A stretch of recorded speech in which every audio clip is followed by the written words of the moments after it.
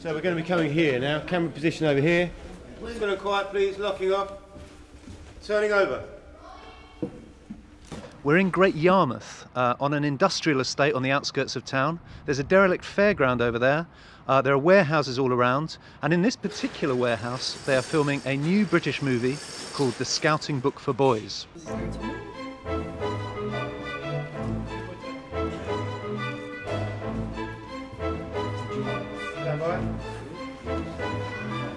Because we're filming in a cave, we've got four different corners and walls come in and out all the time. And so this is the last shot on the scene, basically, as a wide of uh, when our Emily, our character, changes her costume and does a little dance routine in front of uh, David. So that's what we're setting up for.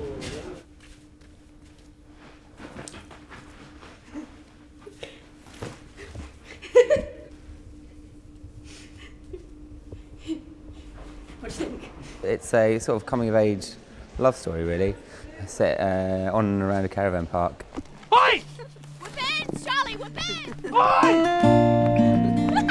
You can't just jump on someone's roof! The Scouting Book for Boys is a sun-blushed slice of British social realism.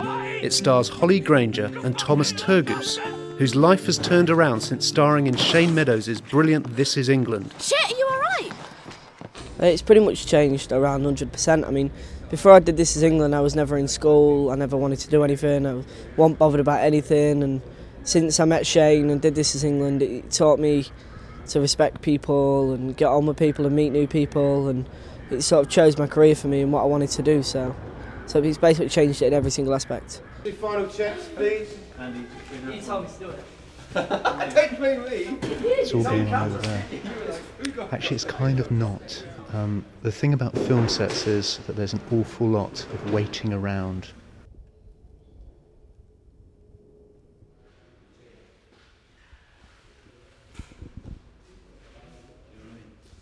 Once you do get on set, you're here like 12 hours a day, often six days a week. So this is it's quite.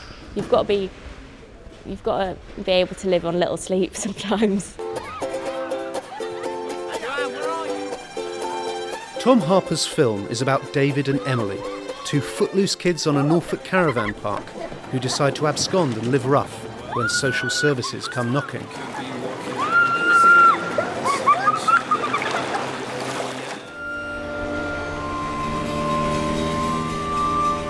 After that, the film's airy, dreamlike mood turns darker, more charged, and rather less successful too. I don't know why they chose him, sweetheart. But why would I? I want you here with me. So, I have to move in with him?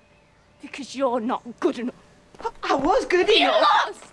That means that you're not! That means that officially you're not! For all that, the film is beautifully shot and performed with a heartfelt grace by Turgoose and Grainger. Together, these two young actors prop up the film, even when it threatens to go up in smoke.